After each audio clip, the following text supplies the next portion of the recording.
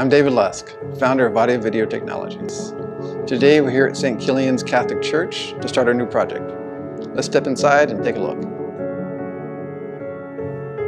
St. Kilian's has an existing AV system they want us to replace. They want something that's not quite so visible, something to hide in the shadows. They want quality sound and quality video, and they want it easy to control. So we put together a design that will replace all the speakers they have here. We're going to pull down that center array and we're going to be disconnecting all the ceiling speakers on the left and right wings.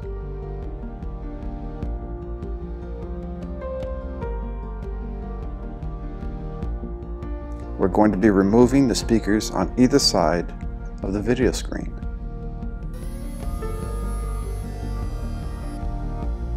And we're going to be replacing them with two new speakers equipped with beam steering technology.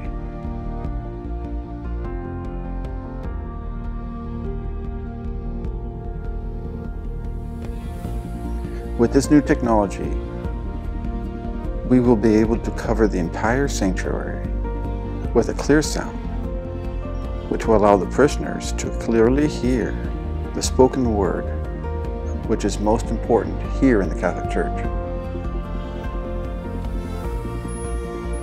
This is the equipment room. The equipment room houses all the equipment, which will power the AV system. As you can see, we have four racks. They used a lot of equipment to make the previous system work.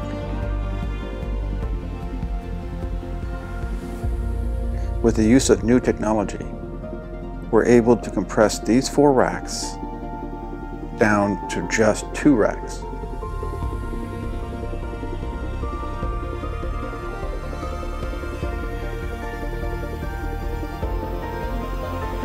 We will be installing a new video distribution system that utilizes 4K technology. We're also installing a new control system that will allow the client to use an iPad to have full control of their entire AV system. Power on, power off, screen control, microphone levels, total control of their system. The speaker system that was in here originally was a very large and encroaching system. Now we've installed our system.